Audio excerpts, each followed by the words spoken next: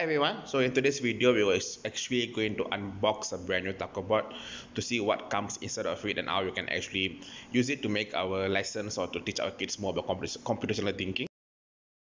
So as you can see the Bot comes in a box. If you open the flip cover, you actually can see the Bot inside. And at the back, you can see the different uh, parts whatever comes with the Tacobot. So there's actually 60 different pieces inside uh, this particular box. Okay uh, you can use a Tacobot with the android device or apple uh, device. Okay and you can actually download the program or the app from the apple uh, iStore or the google uh, play store. So it's a very cool device uh, a lot of different components that come with it. So today we're going to try to see all the different components so I'm just removing the tape on top.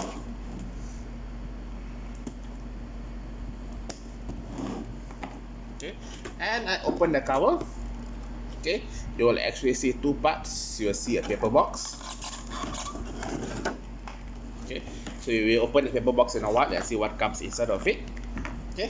And within this plastic container is actually the robot so you have the Tacobot you have the button app on top here. Okay you have the line tracking app and the ultrasonic app.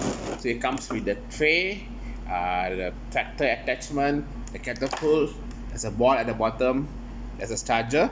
So the uh, the Tacobot has three parts the processor on top the arm control and the motor okay. So if I were to just take this one for example. Okay. So over here you can see the battery. And you can see the motor that controls the the wheels. Uh, this is the activation button. The switch button is at the back. Okay. And then we have the arms. Okay. And we have the processor. This is the main processor. So your eyes like the behind your eyes is your brain so the main processor is over here. Without this we can't actually use the Tacobot okay let me just put this back.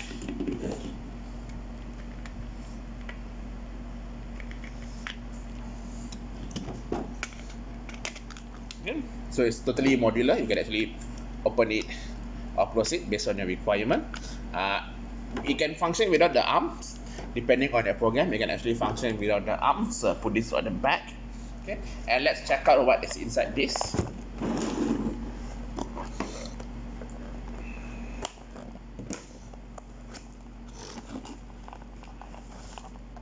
so this one is the map.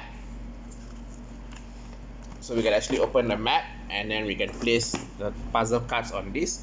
So that's the first component. Okay. And then there's 16 piece of puzzle cards. Okay. The puzzle card comes with two face. The one with the crosses is the first phase, uh, the first phase, and the one that with, the lines are the second phase. okay i will insert in this video how the first phase and the second phase uh, usually looks like once it's fully assembled. So this is how the if all the 16 cards of the first phase looks like if it's fully assembled and this is usually used with the Canyon exploration sensor. And this is how the second phase of the puzzle cards look like. So you can assemble it like this, uh, where the robots actually follow the line with a sensor game. Or you can assemble it like this, where the robots actually stay within the boundaries of the sensor game.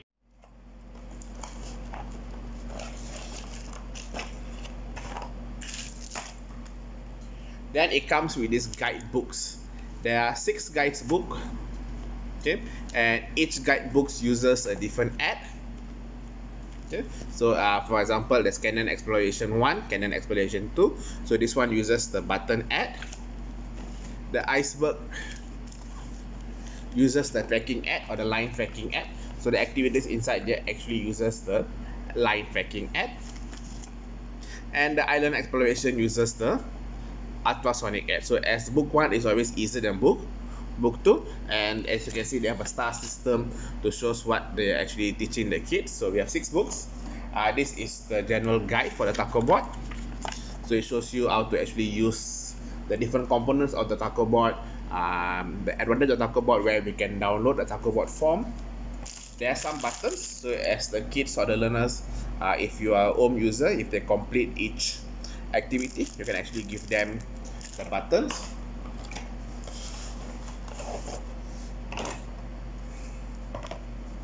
we have the mountain card so there's four mountain cards and there's two monster cards so you can actually shoot down the monster card as you progress uh, or as you learn more about the Tacobot you can shoot down the monster card using the catapult and the ball.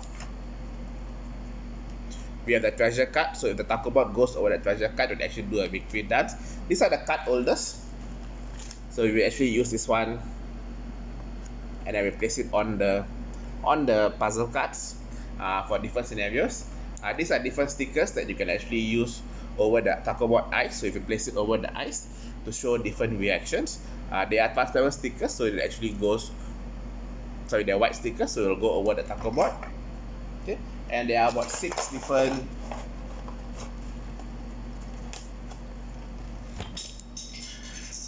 card holder okay. Uh, remember when you start make sure that you actually charge your Tacobot so that it will actually be um,